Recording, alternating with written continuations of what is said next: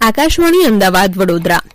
હવે પ્રસ્તુત છે છોટાઉદેપુર જિલ્લાનો સમાચાર પત્ર લેખક રાજેશ રાઠવા. બિપોરજોય વાવાઝોડાની અસરથી ગુજરાત રાજ્ય પ્રભાવિત થયું છે.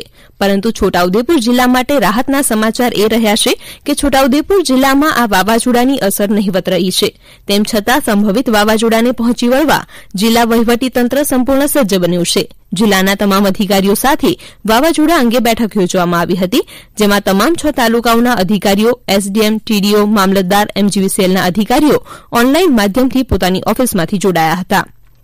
જિલ્લા કલેક્ટરે અગમચેતીના પગલારૂપે જે કંઈ કરવું પડે તે સત્વરે કરવા માટે આદેશ આપ્યો હતો.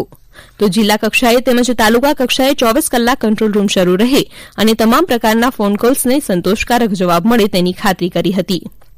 આમ છોટાઉદેપુર જિલ્લા પ્રશાસન વાવાઝોડા, વરસાદ કે કુદરતી આફત સમયે એકબીજાનું સંકલન સાધીને મુશ્કેલીના સમયમાં બહાર આવવા જણાવ્યું હતું.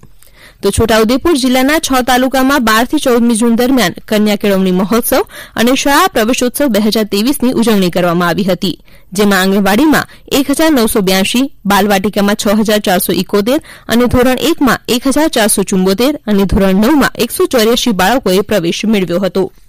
છોટાઉદેપુર જિલ્લાના છ તાલુકામાં ત્રણ દિવસ ચાલેલા શાળા પ્રવેશોત્સવ દરમિયાન બાલવાટિકા, આંગણવાડી ધોરણ એક તથા ધોરણ નવના વિદ્યાર્થીઓએ પ્રવેશોત્સવ દરમિયાન વિવિધ પ્રકારના અભ્યાસને લગતા સાધન સામગ્રી તેમજ નોટબુક, દફતર સહિતનો સામાન આપવામાં આવ્યો હતો. છોટાઉદેપુર જિલ્લામાં છ તાલુકામાં યોજાયેલા વિવિધ કાર્યક્રમોમાં સ્થાનિક ધારાસભ્ય, સાંસદ સહિત શિક્ષણમંત્રી કુબેર ડિંડોરે પણ ગ્રામીણ વિસ્તારમાં જઈને પ્રવેશોત્સવમાં ભાગ લીધો હતો. તો આ ત્રણ દિવસે ચાલેલા શાળા પ્રવેશોત્સવમાં સત્તર જેટલા વિકલાંગ બાળકોએ પણ નામાંકન દાખલ કર્યું હતું. પ્રધાનમંત્રી નરેન્દ્ર મોદીની કેન્દ્ર સરકારના નવ વર્ષ પૂર્ણ થયાથી સમગ્ર ભારતમાં તમામ રાજ્યોમાં ભારતીય જનતા પાર્ટી દ્વારા વિશેષ જનસંપર્ક અભિયાન શરૂ કરવામાં આવ્યું છે. જેના ભાગરૂપે છોટાઉદેપુર લોકસભામાં મુખ્યમંત્રી ભૂપેન્દ્રભાઈ પટેલના અધ્યક્ષસ્થાને વિશાળ જનસભાનું આયોજન કરાયું હતું. મુખ્યમંત્રીએ એપીએમસી ખાતે જનસભાને સંબોધતા જણાવ્યું હતું કે ઓગણીસો પંચાણુંમાં ગુજરાતનું બજેટ પંચાણું હજાર કરોડ હતું. આજે નરેન્દ્રભાઈ મોદીના સુશાસનમાં વધીને ત્રણ લાખ કરોડ થવા પામ્યું છે. દેશમાં નરેન્દ્રભાઈ મોદી વડાપ્રધાન બન્યા, તેનો સૌથી વધુ લાભ ગુજરાતને પ્રાપ્ત થયો છે. આદિવાસી બાળકોના કલ્યાણ માટે સાયન્સ સ્કૂલ, કોલેજો આપી આદિવાસી સમાજના દીકરાઓ ડોક્ટર બની આદિવાસી સમાજની સેવા કરી રહ્યા છે. Chhota Udepur state police headquarter Khotaliya ખાતે રાજ્યના પોલીસ વડા અને મહાનિર્દેશકના હસ્તે નવનિર્મિત બેડમિન્ટન કોર્ટનું ઉદઘાટન અને ઉત્કૃષ્ટ અને અતિ ઉત્કૃષ્ટ કામગીરી કરનાર પોલીસ અધિકારીઓ અને કર્મચારીઓને પ્રસિદ્ધિપત્ર એનાયત કરવાનો કાર્યક્રમ યોજાયો હતો.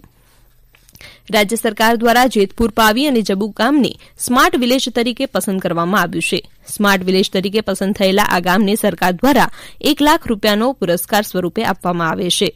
ગામમાં અવારનવાર ચોરીના બનાવ બનતા હોવાથી આ પુરસ્કારની રકમમાંથી ગામમાં સીસીટીવી કેમેરા લગાવવાનું આયોજન કરીશું તેમ જબુ ગામના સરપંચ શ્રીમતી શીતલબેન બારિયાએ જણાવ્યું હતું. રાજ્ય સરકાર દ્વારા જાહેર કરાયેલા સોળ જિલ્લાના પાંત્રીસ ગામો પૈકી છોટાઉદેપુર જિલ્લાના બે ગામોને સ્માર્ટ વિલેજ તરીકે પસંદ કરવામાં આવ્યા છે, જેમાં બોડેલી તાલુકાનું જબુ ગામ અને પાવી જેતપુર તાલુકાના પાવીજેતપુર ગામનો સમાવેશ થાય છે. વિધાનસભાના નાયબ મુખ્ય દંડક રમણસિંહ સોલંકીના અધ્યક્ષસ્થાને કેવડી ખાતે વિશ્વ પર્યાવરણ દિવસની ઉજવણી કરવામાં આવી હતી, જેમાં ગુજરાત વિધાનસભાના નાયબ મુખ્ય દંડક રમણસિંહ સોલંકી ઉપસ્થિત રહ્યા હતા.